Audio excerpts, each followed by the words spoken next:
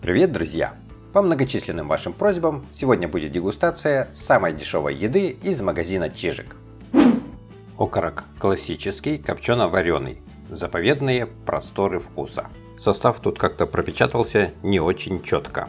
Состав вполне обычный для такого вида продукта. Здесь очень много соли, также есть фиксатор окраски, то есть состав не полностью натуральный. Стоимость окорока 159 рублей. Вес этой упаковки 300 граммов. Изготовлено в Московской области, город Дмитров. Если мы присмотримся, то увидим, что здесь есть водичка. То есть она отсюда выделяется, потому что при производстве это все накачивают соленой водой, ну и там также влагоудерживающим агентом, чтобы было потяжелее все это дело. То есть, по сути дела, мы, конечно же, покупаем еще и часть воды вместе вот с такими копчеными, варено-копчеными изделиями. По запаху этот окорок пахнет вполне хорошо. Приятненький такой запах. Сейчас Попробую его порезать. И посмотрим, что у него будет в разрезе. В разрезе этот окорок смотрится очень красиво, аппетитно и чем-то напоминает ветчину. Запах не очень сильно копченый, то есть с копчением здесь не переборщили. Попробую на вкус. По вкусу этот окорок мне понравился. Очень мягкий, нежный. Чувствуется, что это на самом деле действительно мясо. Ну и по внешнему виду видно, что это мясо. Похоже на ветчину, прямо вот как, как будто бы какая-то ветчина. В общем, вкус замечательный и цена недорогая. Сухарики три корочки, холодец с хреном. Эти сухарики сделаны из ржаной и пшеничной муки. Написано, что есть какие-то натуральные вкусоароматические вещества. Хрена и холодца в составе нету. Ну, состав, конечно же, не очень хороший, потому что всякие вот эти э, ароматизаторы добавлены, которые, конечно, не очень полезные. Сухарики три корочки, стоимость 10 рублей. Масса сухариков 40 граммов. Изготовлено в Воронежской области, деревня Богданова. Вот такое количество сухариков было в упаковке. По запаху пахнет чем-то остреньким, но вот больше пахнет хреном. Холодца особо в запахе не чувствуется. Попробую на вкус. В составе был горчичный порошок. И вот этот вот горчичный порошок сильнее всего чувствуется во вкусе. Он дает такую неслабенькую остроту. Так что я бы сказал, что это сухарики не холодец с хреном, а просто с горчичным порошком эти сухарики, потому что в основном этот горчичный порошок и чувствуется во вкусе. Ну, еще есть небольшое количество соли. Сухарики эти довольно-таки твердые, можно сломать зубы от такие сухарики. Не очень они рассыпчатые, но зато стоят, конечно, здесь они очень недорого. Вернер индейка стейк грудки. Масса 500 граммов. Стоимость стейков 249 рублей. Изготовлено в Ростовской области, поселок Интернациональный. На внешний вид и по запаху видно, что эта индейка свежая. Сейчас приготовлю и мы с вами попробуем. Отварил несколько кусочков грудки. Структура хорошая, волокнистая, довольно-таки мягкая. Сейчас попробую на вкус. Филе индейки в чижике стоит в полтора раза дешевле, чем в других магазинах. Ну а качество точно такое же, в общем, ничем не хуже. Отличное филе, очень мягкое, легко жуется. В общем, смело можно ехать в Чижик и покупать вот такую индейку. Очень вкусная. Сметана Светаева. Жирность 20%, масса 315 граммов. В составе только лишь сливки и закваска. Стоимость сметаны 74 рубля. Изготовлено в Республике Беларусь. Могилевская область. Город Шклов. Сейчас посмотрим, какая густая эта сметана. Действительно, сметана очень, очень густая. Ну и теперь попробую ее на вкус. Сметана это по вкусу мне понравилась. И я думаю, что для такого качества цена вполне нормальная. Не скажу, что супер дешево. Конечно же, другая сметана стоит там рублей где-то 90. Здесь она стоит 74 рубля. Но все-таки это не супер дешево, потому что можно купить сметану и, скажем так, и еще подешевле. По крайней мере, я знаю, что есть еще хорошая сметана, которая стоит еще дешевле. Ну, она там где-то порядка 70 рублей стоит. Но я могу сказать, что для своей цены качество очень-очень хорошее, потому что сметана вкусная. Карусели, сладкий сказ, ватрушка с творогом. Масса ватрушки 100 граммов. В составе есть и сметана, в составе есть даже сметана, которая сделана из сливок, есть маргарин, ну и также есть пальмовое масло. В общем, состав, конечно, не очень хороший. Стоимость ватрушки 34 рубля. Изготовлено в городе Москва. На внешний вид эта ватрушка выглядит неплохо.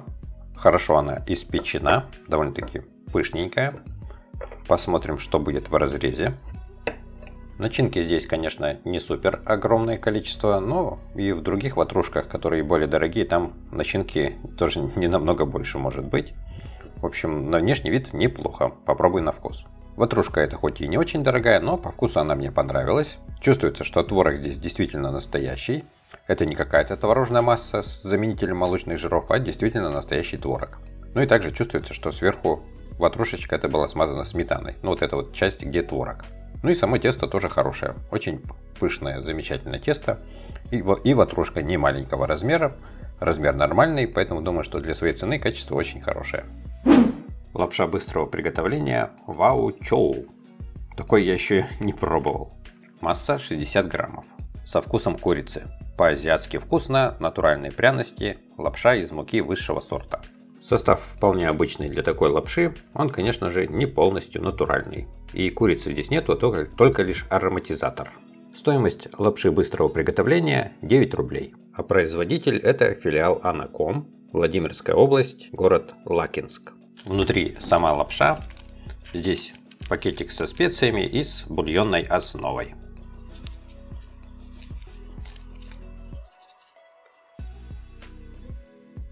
Залили кипятком, накрываем крышкой и оставляем на 5 минут.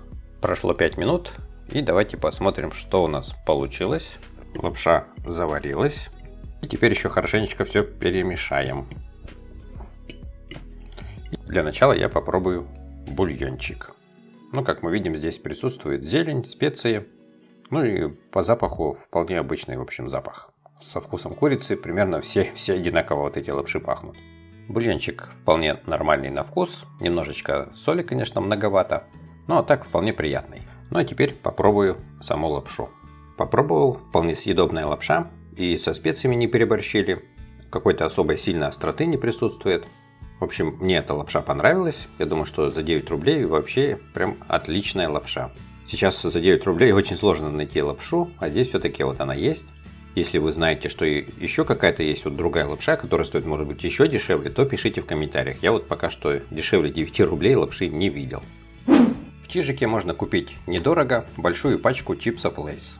Это чипсы с зеленым луком. Чипсы эти сделаны из целикового картофеля. В составе есть луковый порошок, но непонятно, порошок этот из зеленого лука или из э, лука репчатого. В общем, здесь не уточняется.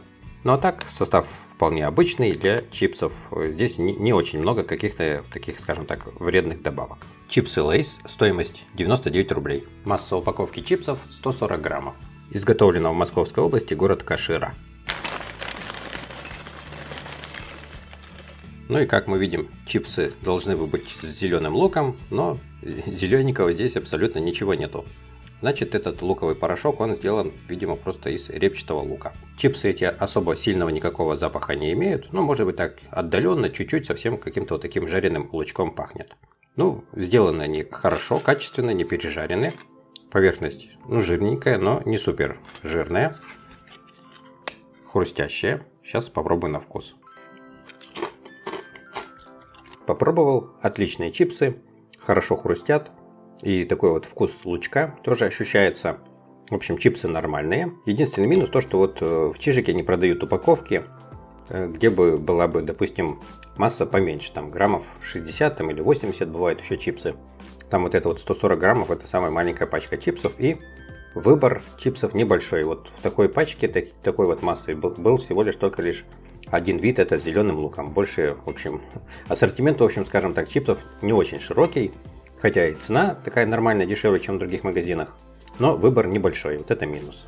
Ну а так, с зеленым луком это не самые вкусные чипсы, вот по, по моему мнению.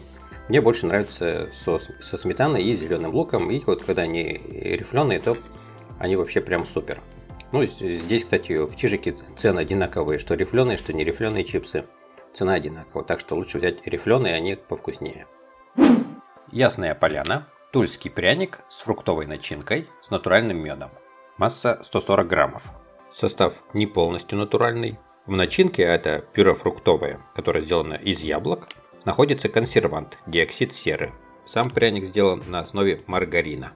Состав не очень хороший. Очень много различных химических добавок. Пряник тульский, стоимость 39 рублей. Изготовлено в городе Тула. Внешне пряник выглядит отлично. Нигде ничего не подгорело. Начинки здесь не супер много. В самых крайних кусочках ее вообще нету. Ну а тут в центре вот такая тоненькая полосочка, наверное, толщиной 4 мм. Пряник не супер мягкий. Попробуй на вкус. То, что в прянике есть мед, особо вообще как-то не чувствуется во вкусе. Но так, по вкусу пряник нормальный, только что он какой-то суховатый. Я не знаю, такой он должен быть тут тульский пряник или нет, но он суховатый. Начинка это не особо сильно какую-то сочность придает.